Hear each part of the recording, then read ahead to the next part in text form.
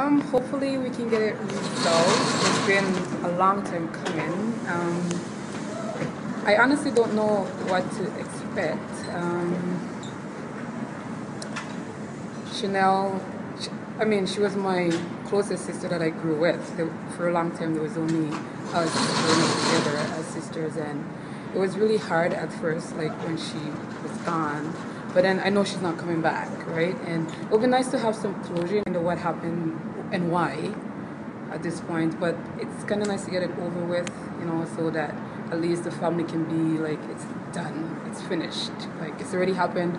We know that it happened. We don't know why, but at least let's put a rest to it. Let, let it be done with. To be honest, when I first heard that she was burnt, it was kind of like um, you kind of feel like how can you sit like what was happening at that last few moments like how can you be sitting there like being burnt alive like like you know what did she go through in, the, in those last moments. And then at the same time when you kind of heard that she was shot and then it wasn't the fire even though it's tragic it's kind of a relief because then it was just like one like gone like instant she instant death. pain. there was no yes. So that was kind of a relief even though it's so horrific. Um, I've also had time over time to deal with it, you know, just to, to search within myself and see how do I take it? Like, what am I supposed to do? You know what I mean? And um, then um, I also see where it's hurt other men, like everybody in my family has a different reaction.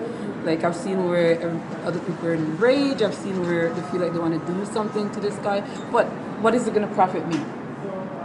do I want to become the same person that he is? Like, do, you know what I mean? I, I don't know. I think over time I've dealt with it in a sense that um, Jolene, gone. She's not coming back. No matter what you do, she's not gonna come back. Do you miss her? Do miss her. Um, she was living with me at that time, and um, it's just funny because sometimes she would go and you don't know where she's gone, and then she just comes back.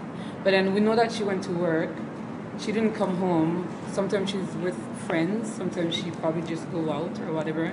And then for you to be waking up with like flashlight and like knocking on your door, you know, just somebody coming looking for her and then giving you the news. It's not easy. Like it's not an easy, you know, That's thing to take. That's yeah. The police came.